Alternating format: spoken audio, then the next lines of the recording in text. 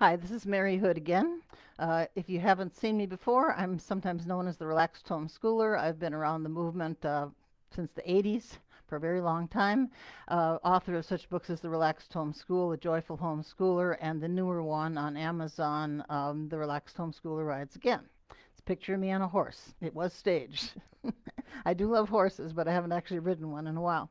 Anyway, today we're going to talk about learning, specifically learning styles and the environment that you're going to have in order to create an, uh, a situation where your individual children are going to do the best learning they possibly can. A lot of people shy away from this topic because somehow it sounds sort of like you have to be a trained educator or study for hours and hours and hours. That's not true. The only thing is you have to be aware of what works for your child and what doesn't work. And believe me, children have a way of letting you know what works for them and what doesn't. Um, so the first thing I want to discuss is sort of you know, what we mean by learning. When does learning take place? And of course, we all know that the very best type of learning is self-learning. It's in some ways it's really the only genuine learning is when you're learning on your own. Uh, naturally, parents have a role to play in helping to uh, facilitate that and to certainly teach certain things to their children. But nevertheless, real learning comes from within. All right.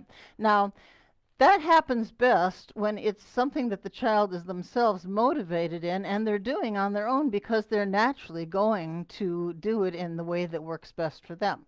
And of course, we all know some kid who's maybe super into birds, you know, or something. And that's just that's all they want to do. They want to get up in the morning and they want to do the bird feeder and they want to look at the bird house and they want to get out the bird identification book. Maybe some other kids it's baseball. You know, that was one of my sons, which is super into baseball and he just he knew all the stats on all the players, you know, and and everything.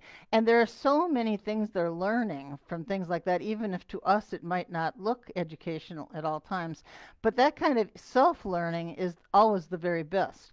Now what parents want to do is to create an environment that's as close to that as possible. So you have to think about things like motivation, like goals. Is it the child setting the goals? As they get older, it's better, of course, when they are the ones doing it. If you're the one setting the goals, how can you get them to buy into it? You know, every piece of learning doesn't have to be fun all the time, but especially when you're beginning a topic, the more fun it can be, the more chance that they're really going to engage.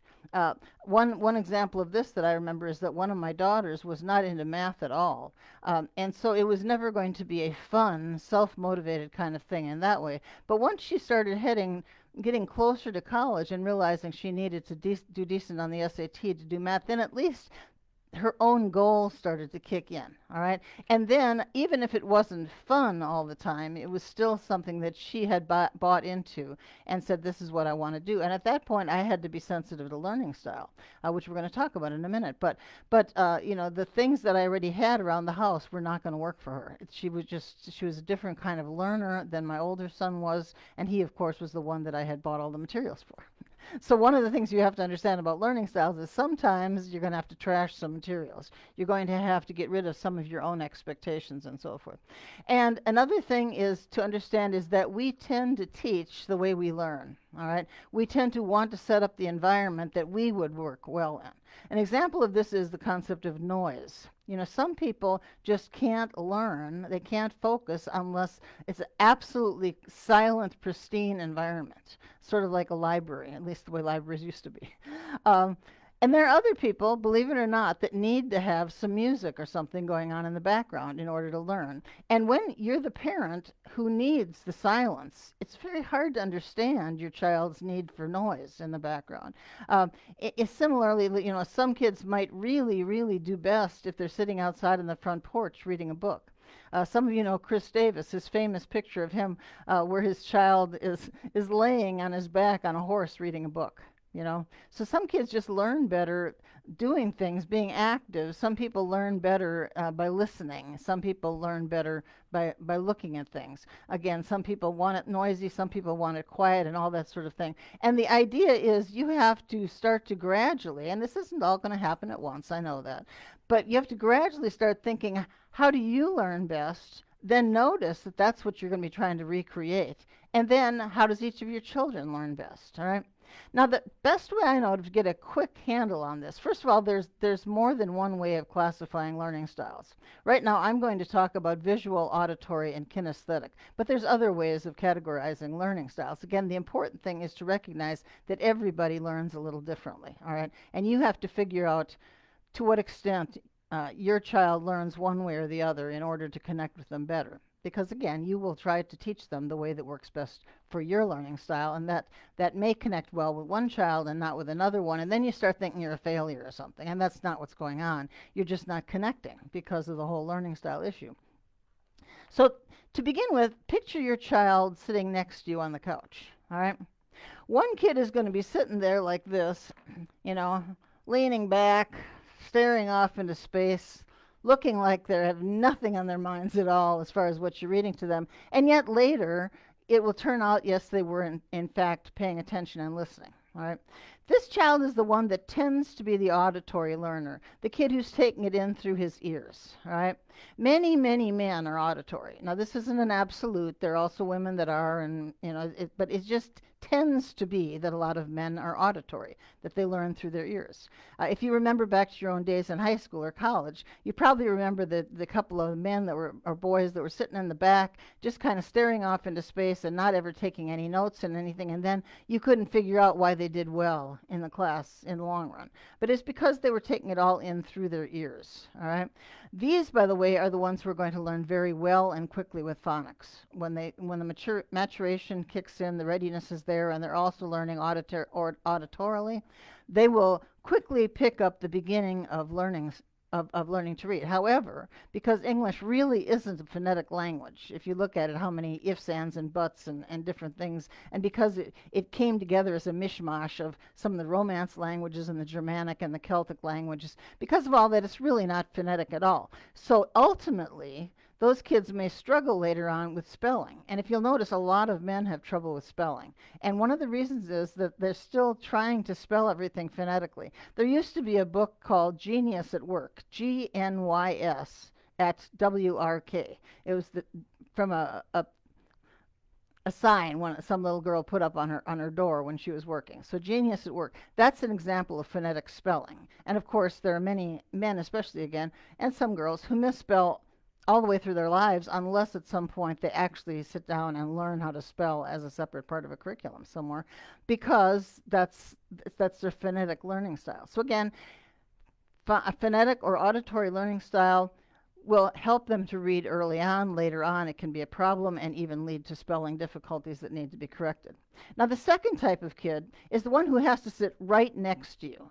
If you're if she's one person away, she's upset with you. All right. They they like books that have pictures in them. That they're going to be looking at the pictures. They're going to be looking at the at the print and so forth. You know, and they always want to look at it and they want to be right there. That's the one that tends to be a visual learner. Many, many women are visual learners. There's a few ways you can tell if you have that tendency. One is if you're if when you're eh, being asked to spell a word or something, if you find yourself writing it out in the air, that makes you tend to be visual. Um, if if your husband is explaining something to you and you grab it away from him and say, "Let me see that," all right, that's a tendency to be visual. All right, visual kids um, they will learn to read more slowly because, and, and, if they're strongly visual, they may really, really, really not be able to understand or get phonics. All right, one of my kids was like that, just couldn't get phonics, never could. All right, um, but the, you know, I'm, again, there's there can be a mix of things here, so it's not all or nothing. But I'm just saying that some kids who are visual learners essentially need to memorize the English language, if you will. They look at shapes, they look at, at a variety of things, and you can try to help them gradually with with talking about the sounds of letters and so forth and that, but it's going to be very very difficult for some of those kids to learn that way.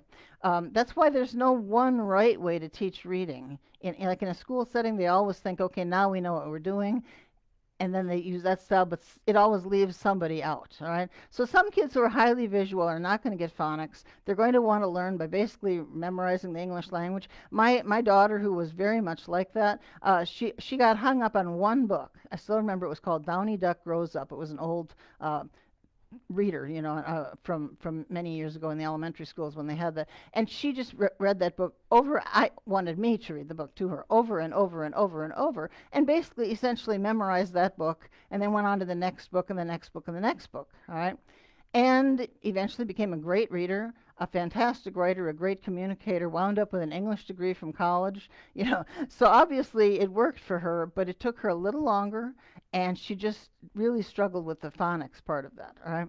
Now, the third type of kid, and this is often a boy, but again, not necessarily, um, this is the kid who you're reading to either him or her or a group of kids on the couch, but they're over there in the corner playing with their trucks, building with Legos, and all that sort of thing.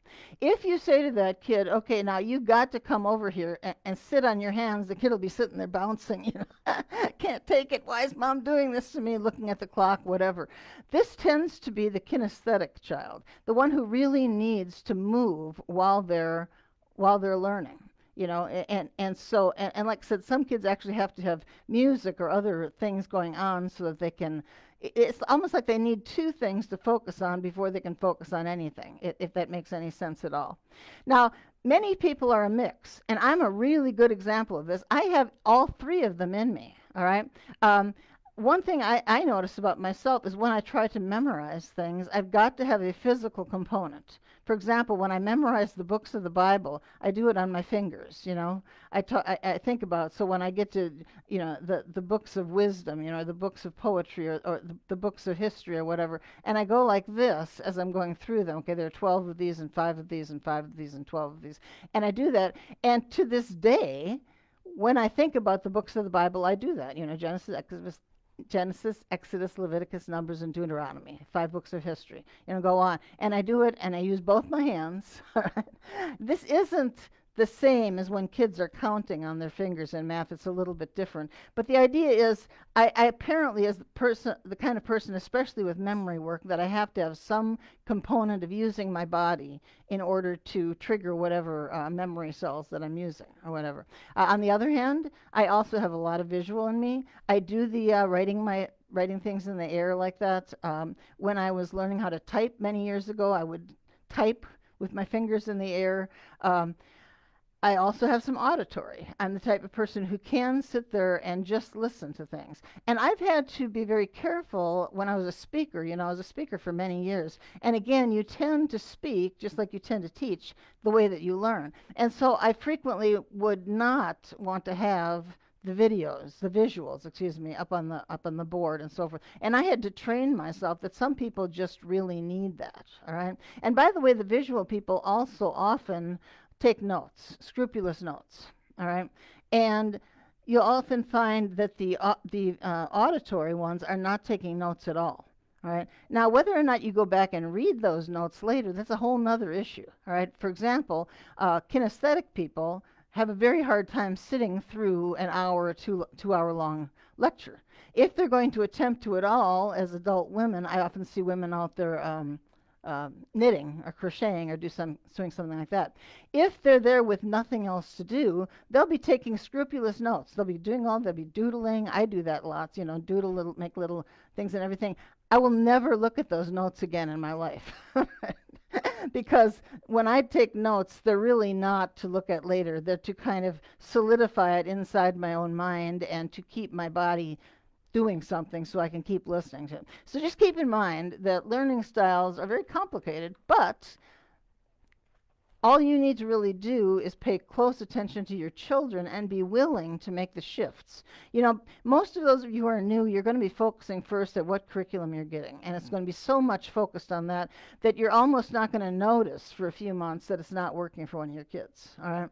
So just be sensitive from the very beginning. You know, might this kid need to be doing something outside? Might it be better? You know, it, and like I said, they'll let you know if the kid is saying, "Can I do this on the porch, mom?" There's probably a reason for that. You know, can I turn on my music while I'm doing this? Well, okay, but then you need to go back in your back room because your your little sister needs have quiet when she's doing her work and so forth. So you need to be sensitive to it. You need to be constantly asking yourself a lot of questions, including what would what would I do if it was just me? In other words, trying to, to isolate your own learning style because that will be your teaching style, and that teaching style may or may not connect, in which case you have to be flexible enough to try to make a shift. All right, that's it for today. I hope that helps some of you. Um, I haven't really got a specific uh, place where I where I wrote about this. Sometimes you know I, I have little guidebooks and things that I can refer you to, but in in a lot of this, I just I winged it like you will. You know, I just kind of learned about it a little at a time and gradually figured out what works. And and, and remember, your kids all, are all individual. My kids grew up to be extreme individuals. If you met any one of my five kids today, they range in age from 30, they're just turning 30 to 43. Uh, you wouldn't even know they they were uh, related to each other because they're just very individual kids. And that to me is one of the beauty things about homeschooling is that you can do that. But in order to do that, you have to get over this idea that the curriculum is telling you to do it this way, so I got to do it this way, you know, that I'm a school and doggone it, the kids have to be learning in a particular manner, and no, you can't be out on the porch and all that sort of thing. So you, it's just uh, mostly a matter of flexibility on your part to make this all succeed. Thanks a lot. See you again.